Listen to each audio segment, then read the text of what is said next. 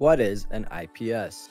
Intrusion Prevention System, also known as IPS, is a network security tool that continuously monitors a network for malicious activities and takes actions to prevent them. An IPS can be hardware or software. An IPS uses different methods to identify and resolve threats, such as signature, anomaly, or policy based methods. An IPS signature-based method matches the activity to signature of a well-known threat. Anomaly-based method monitors for abnormal behavior by comparing random samples of network activity against baseline standards. A policy-based method employs security policies defined by the enterprise and blocks the activities that violates those policies. Types of IPS are host intrusion, network behavior analysis, and Wi Fi intrusion prevention. Host intrusion prevention system is installed on an endpoint. It monitors inbound and outbound traffic from the machine only. Wireless intrusion prevention system simply scans a Wi-Fi network for unauthorized access and kicks off the unauthorized device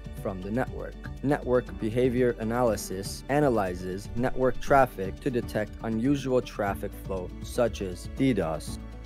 To learn more, visit our website clickcontrol.com.